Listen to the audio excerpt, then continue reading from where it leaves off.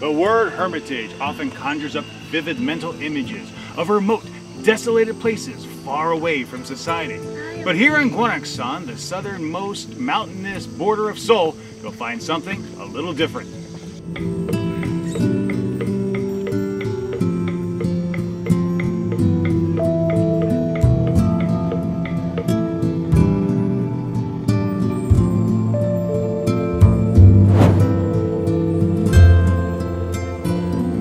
It was 677 when this hermitage finished construction.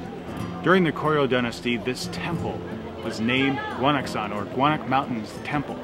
Its primary focus was to study Buddhist scriptures far away from the center of Seoul. During the Joseon dynasty, it was renamed Younjuam, and since then, it's been frequented by those around every single day.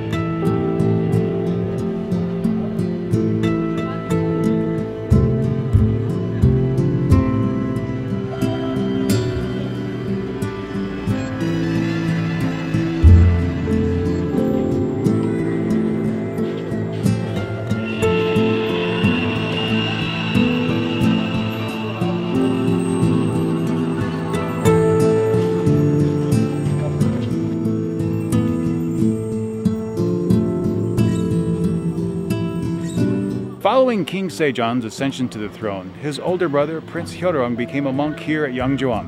Enshrined in the building behind me is a picture of the young prince.